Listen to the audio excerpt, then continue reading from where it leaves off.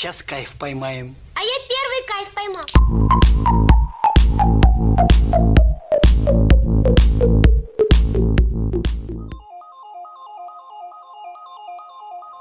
Hola de nuevo a todos, soy Canina Racing, bienvenidos a Todo Vapor. Antes de nada, en este vídeo quiero felicitaros la fiesta, estas navidades que se aproximan y que por supuesto espero que paséis lo mejor posible con familiares y amigos. Y tened mucho cuidadito también en la carretera, que por experiencia sé que son fechas también malas para eso. Y si tenéis que beber, coged un taxi, los Uber o los Cabify que están tan de moda o lo que sea. Pero que cuidadito por ahí, que lo importante es pasar las navidades bien a gusto y sin ningún tipo de percance. Y vamos con la revisión de hoy. Hoy nos toca revisión de un RDA, un RDA de una de estas marcas también bastante desconocida, que en este caso es Riscle, y el atomizador en cuestión es el Pirate King 2. Riscle es otra de esas marcas que son muy pequeñas, de origen chino, y que van sacando cosas bastante innovadoras, como suele ser común últimamente. Las marcas grandes innovan poco, pero estas pequeñitas ofrecen cosas muy interesantes.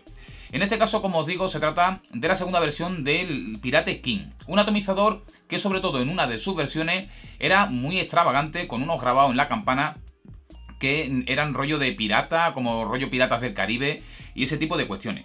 Ahora nos saca esta nueva versión que tiene una gran novedad en la entrada de aire. Ahora la veréis de cerca, una cosa que yo nunca había visto. Quiero que sea un vídeo rapidito, no va a ser demasiado largo, así que vamos directamente a la mesa y lo vemos de cerca. Luego al final sacaremos unas conclusiones. Os espero abajo. Bueno, pues este es el empaquetado en el que viene este Pirate King 2 de Riscle. Un RDA que como ya os he comentado es la segunda versión, con un cambio bastante importante en la entrada de aire. El empaquetado bastante chulo así con este rollo de piratas y este tipo de cuestiones. Y es porque, como os digo, también van a sacar esa versión que os comentaba que hubo en la primera, con una campana, rollo piratas del Caribe y demás. Y ya dentro de la caja, una bolsita conteniendo tóricas de recambio, tornillos de recambio, una resistencia, así como un polo bottom feeder. Un pequeño manual de instrucciones que cubre los aspectos más básicos del atomizador, certificado de calidad, una bolsita de desecante y una llave de tres puntas. Y por supuesto, el atomizador este RDA, el Pirate King 2 de Riscle. Como veis, un atomizador muy sencillo en apariencia exterior y la única novedad que tiene está en la zona de la entrada de aire que ahora veremos. Empezamos a verlo parte por parte, empezando por supuesto por la parte superior, donde nos encontramos un drip 810 que es de estos que van con tóricas en el propio drip, no lleva la tórica metida aquí en la campana. Como veis, la subida de aire no es demasiado ancha, un drip bastante gordo, pero que tiene una pared muy gruesa, lo que hace que la subida de vapor no sea de la más grande que podamos encontrar. La campana no tiene nada más destacable, simplemente aquí tiene un grabado que quizás ahora en la unidad negra que tengo también lo veréis un poco mejor. Y también vemos lo que son las dos entradas de aire, entradas de aire que como veis tampoco son muy grandes. La campana no tiene mucho más interesante que ver, simplemente ver el grosor de la pared, una, una, pared muy gruesa, un peso consistente y muy buen trabajo en cuanto al mecanizado y una parte superior que viene un poquito abovedada. No tiene más piezas, esto es una única pieza fija, nada que se mueva ni nada similar. Vemos la base. La base viene con un baño dorado en su totalidad y por la parte inferior vemos esta especie de estrella de David que tiene aquí y Pirate King escrito alrededor. Un polo que no sobresale prácticamente nada, así que no recomendaría utilizarlo en mod del tipo híbrido porque puede haber problemas de corto en esta zona. Luego la sujeción de la campana, como veis va con dos tóricas y aquí en los laterales llevaría tanto las entradas de aire como los tornillos de sujeción de la resistencia. Una configuración que ya hemos visto alguna vez y ya os imaginaréis que por lo tanto es un deck sin poste. Y por aquí ya lo veis más claramente. Un agujero para una pata de la resistencia, otro agujero para la otra pata de la resistencia y esta zona de aquí que es como una especie de parrilla que es por donde sube el aire. Esta es la parte más interesante de este atomizador. Y es que la subida de aire, aquí la podéis ver, se trata de una especie de rejilla o de colador en la que hay 390 microagujeros que son de alrededor de 0,2 milímetros de diámetro. Agujeros que son prácticamente invisibles y que hacen, mm, se compone al final como una especie de malla. Una obra de arte en cuanto a taladros que han hecho ahí. Como veis se puede ver un poquito la parte de dentro ya que es digamos semi-transparente. Y esto lo que promete el fabricante es que lo convierte en un atomizador a prueba de filtraciones. Se supone que los agujeros son tan tan pequeños que no permiten el paso de líquido. También quiero que os fijéis en la forma que hace esa parrilla, una forma que como veis es semicircular, de manera que la resistencia la colocaremos aquí centrada en esta zona intermedia de esta parrilla que hemos visto con los agujeritos, de manera que el aire le dé desde la máxima cantidad de zonas posible. También destacar ese agujerito que hay ahí y ese otro agujerito que hay ahí, que es por donde subirá el líquido si lo utilizamos en modo bottom feeder. Así que la resistencia quedaría aquí y el algodón directamente estaría sobre los puertos en los que subiría el líquido. Aquí tenéis la otra unidad negra que me han enviado, son los dos colores disponibles. Además de ese acabado que hemos dicho Piratas del Caribe, que os pondré por aquí una fotito. Y aquí podéis ver un poquito mejor lo que es el logotipo, una especie de cadavera, haciendo así con el dedo, y eh, la marca Riscle. Y hoy, para hacer el vídeo un poquito más corto, vamos a pasarnos el tema de la instalación del setup, porque además es muy muy sencillo. Tenéis que meter una pata en cada agujero y colocar la resistencia más o menos de la forma que os he dicho. Eh, centrada en esa forma semicircular que hace la entrada de aire. Me gusta ponerla más bien próxima para que el aire le pegue desde abajo y desde los laterales al mismo tiempo. Una cosa que sí tenéis que tener en cuenta es que como veis la entrada de aire está un poco elevada y tendréis que combar la pata de la resistencia un poco hacia afuera. Como veis aquí en ambos lados le he hecho una especie de comba. Colocarla abajo y luego una vez que la tengáis colocada y sujetándola con la guía, utilizad algo por aquí para sacarlas un poquito porque puede ser que os haga corto con esta zona elevada de la entrada de aire.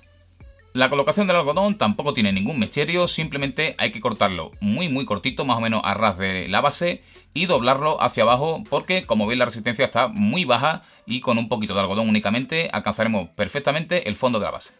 Y hoy vamos a utilizar un poquito de Manitou de More Liquid con su nuevo etiquetado y vamos a ver si es cierto eso de que este sistema de agujeritos pequeños es antifuga. Vamos a poner líquido aquí, como si no hubiera mañana, de manera que le echamos por encima de la resistencia sin miedo ninguno. Vamos a poner todavía un poco más, porque de momento no sale nada. Y efectivamente, como veis, el algodón se ha ido bebiendo todo el líquido, pero todo lo que ha quedado debajo de la resistencia tampoco se ha fugado. Está todo totalmente limpio, nada por las entradas de aire, así que parece que cumple con su objetivo. Bueno, y ya con todo visto, colocamos de nuevo la cap y nos vemos arriba para hablar un poco de él.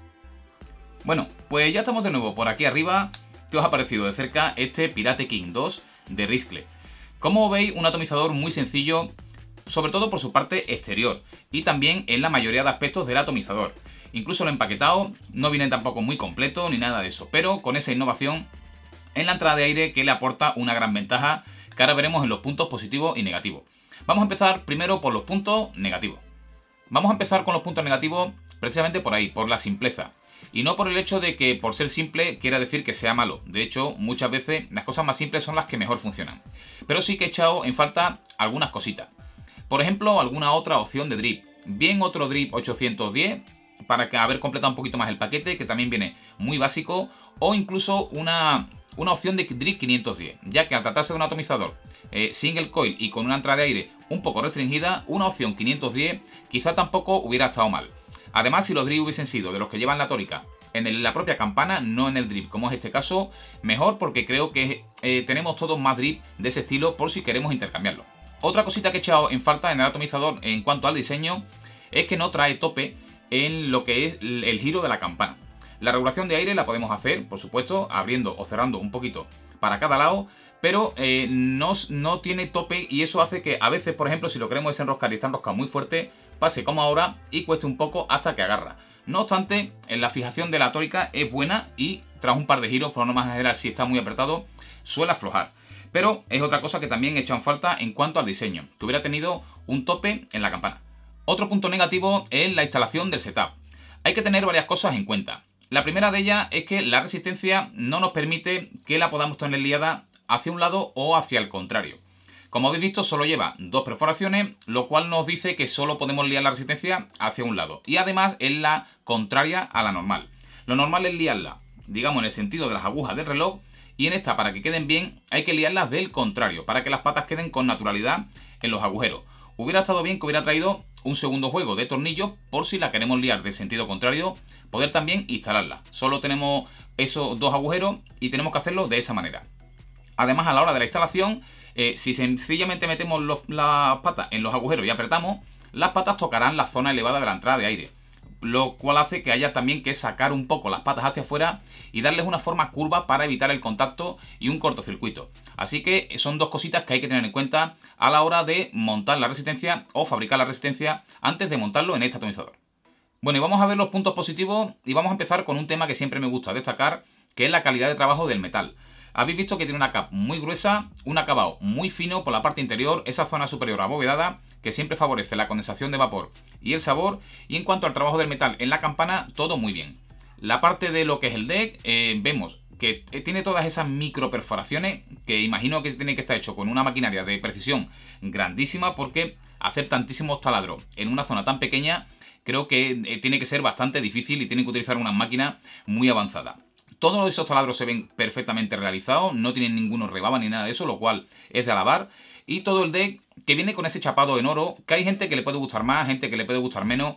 Incluso dicen que puede favorecer un poco la conductividad, cosa que yo la verdad es que no tengo claro. Ese chapado dorado, si no os gusta, estéticamente es el que hay en las dos unidades bien así, tanto en el negro como en el plateado. Y con el tiempo es una cosa que también, si no es bueno, puede llegar a saltarse, aunque a mí no me ha dado ningún tipo de problema. Y vamos a pasar a hablar del rendimiento de este atomizador. Atomizador, como habéis visto, con unas entradas de aire muy pequeñas y esa entrada de aire interior tipo colador de 390 agujeros de 0,2 milímetros que también permiten un paso de aire muy restringido.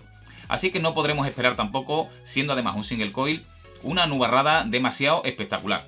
No obstante, tenemos colocado en este mod 50 eh, vatios y la resistencia es una 0,49, es una Fused Clapton, así que vamos a ver el tema de producción de vapor, sabor y estas cosas.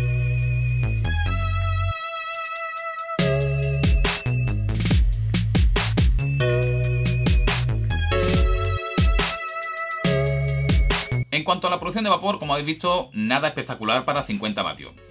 Es una entrada de aire muy restringida. Si os gustan los atomizadores con calada abierta para grandes producciones de vapor, este no es vuestro atomizador. Es un atomizador con calada bastante cerrada, que no nos permitirá grandes producciones de vapor. Pero, ¿qué pasa con el golpe y el sabor? El sabor es fantástico, tiene un sabor muy bueno este atomizador. Todas esas entradas de aire tan pequeñitas y tan distribuidas alrededor de toda la resistencia hacen que tengamos una gran zona de impacto del aire contra la resistencia y un factor que yo siempre tengo mucho en cuenta que es la velocidad de salida del aire.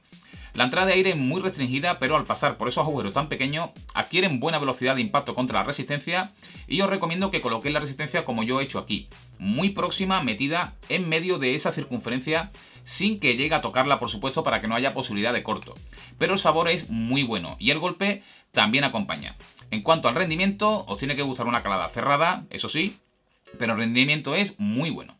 Así que en definitiva y a modo de resumen, si buscáis un atomizador single coil que sea económico y que tenga buen rendimiento sobre todo en cuanto a sabor y que tenga una calada restringida, no busquéis grandes vaporadas con él, creo que se trata de un atomizador bastante recomendable. Un atomizador muy simple en su diseño, como hemos visto, no está exento de pega, quizá la más grave sea eso de que no tenga tope en la campana y a veces al, querer aflojar como pasa ahora de nuevo, da vueltas y no se afloja, a lo mejor tenemos que quitar la cap y quitarlo manualmente, pero en general, por el precio que tiene, está muy bien. El trabajo del metal es bueno, va bien también en modo bottom feeder y sobre todo la ventaja de que está exento de fuga.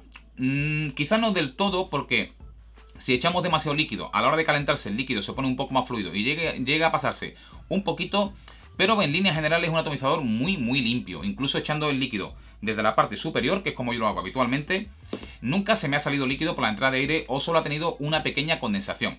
Lo cual quiere decir que ese sistema que han inventado ahí, que creo que también es de alabar esa innovación en cuanto a la entrada de aire, es bastante efectiva. Así que, como os digo, atomizador bastante recomendable y económico, que eso también interesa. Así que nada más por el día de hoy. Darle las gracias, por supuesto, a Rickle por enviarlo para poderle hacer este vídeo y compartirlo con todos vosotros. Nada más por el día de hoy. Felices fiestas un saludo y nos vemos muy pronto. Force is strong in my family.